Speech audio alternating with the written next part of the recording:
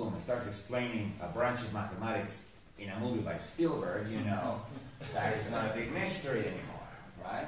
But it took 80 years or 90 years for these ideas to enter into the realm of philosophy, into the realm of, of, of people with ideas that are not necessarily professional mathematicians. Nevertheless, it took much longer for them to percolate into the Anglo-American world of philosophy than it took into the French world because Deleuze was there. Deleuze was there already writing books about Bergson, Henri Bergson is a philosopher from the early 20th century who had a famous debate with Einstein and clearly was another, you know, if you have a debate with Einstein, you have to be a very famous philosopher.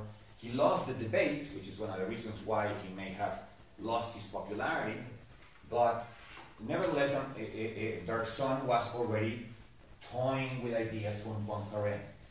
And so Deleuze, having wrote, having written a book on, on Bergson in the early 60s, Bergsonism is called, was in the perfect situation to just walk by the mathematics department at the university where he taught, where he taught, and hear about these ideas and talk to mathematicians about these ideas. Where are you guys going with this? Because philosophically, it's very interesting. It's precisely the concepts of space that I need to conceive of that space of immanent, that immanent spirituality that I want to that I want to be able to grasp. But I need, you know, if, if, it's, if it's a spiritual space that is not transcendent, how can we conceive of it? It needs to be immanent. You know, he was worried and he was like churning these ideas. At the same time, the disciples of Poincaré were putting the final touches on the theory. All the books were being published again. So Deleuze, to put it in a nutshell, was at the right place at the right time.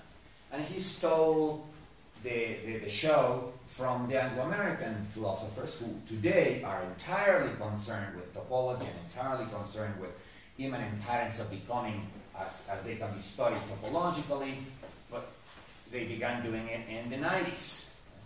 So he was there 30 years before. You know, if something is the problem is of course that Anglo-American philosophers, you know, analytical philosophers do not read continental philosophers, so they never really noticed that. I published a few articles in, in, in journals that they do read, trying to call attention to them, you know, trying to say, look, Deleuze was there 30 years before, and the analysis he did of these patterns of becoming are way more advanced than what you guys are doing right now. So you can dismiss everybody else. You can dismiss Derrida. You can dismiss Lyotard. You can dismiss uh, Lacan. But don't even for a sec try to dismiss Deleuze. Because Deleuze was a human, just like many of you people are. I'm, I'm talking again to my imaginary analytical philosophers. You know, in other words, he's not an idealist. He's a materialist.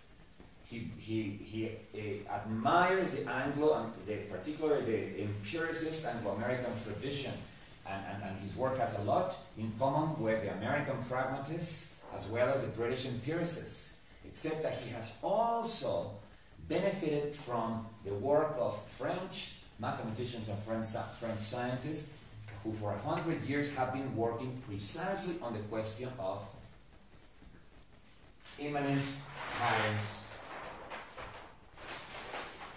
of becoming. Now what the space that Poincaré invented is called phase space. It's a more complex space than the little graphs that I wrote before, and therefore allows itself much more to to to um, to create phase space. You need to do several things. Number one, identify the number of ways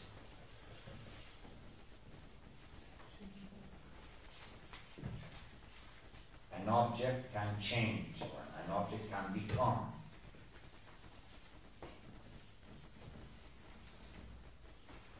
Or an object, a process.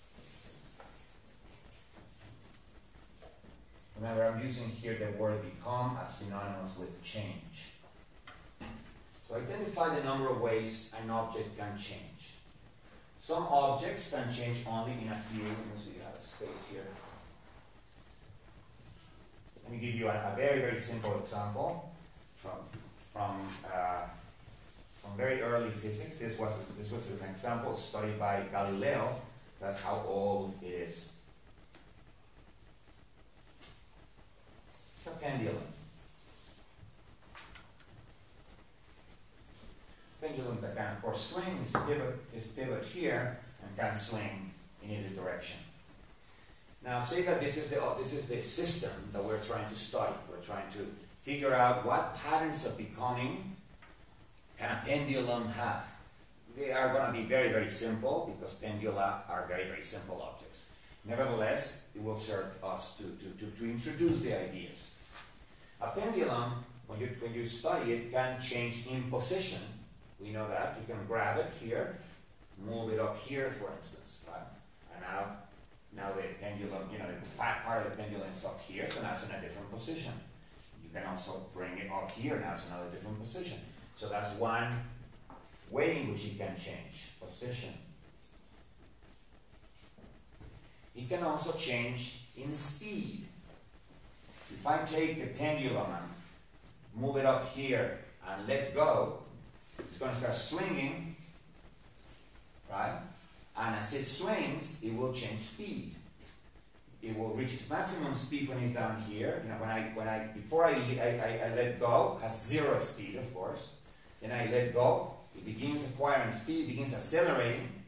It reaches its maximum speed here, begins decelerating until it goes to zero again, and then goes back again, back again. Every swing having less, reaching less, until it finally comes to a point, to, to a to a, a, to a rest, right? So it can change in speed. And those are, it's two axes of becoming. It's two dimensions of becoming. Because a very simple object can only change in two ways. Or at least we have identified the two ways. Now, you might, you might, I'll get back to you in a second. You might think, well, wait a minute, a pendulum can, can change in many, many, many other ways. I can, for instance, right now take a can of spray paint and graffiti it, and bingo, that's changed. It changed in color. or even better, I can ask Wiley Coyote to lend me one of his Acme,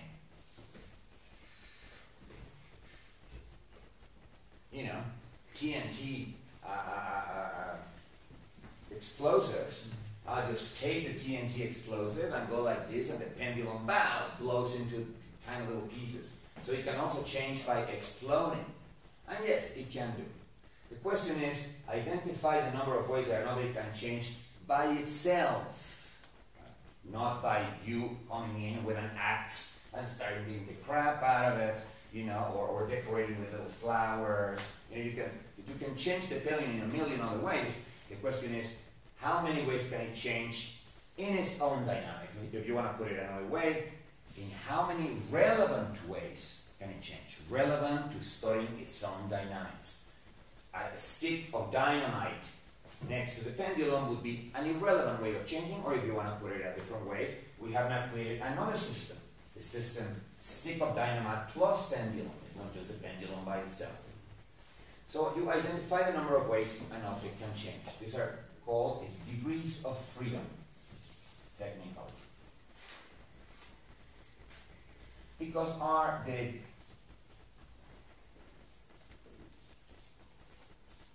the ways in which an object is free to become different. Number two, create a space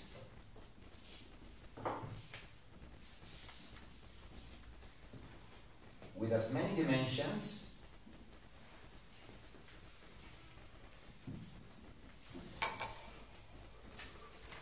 as degrees of freedom.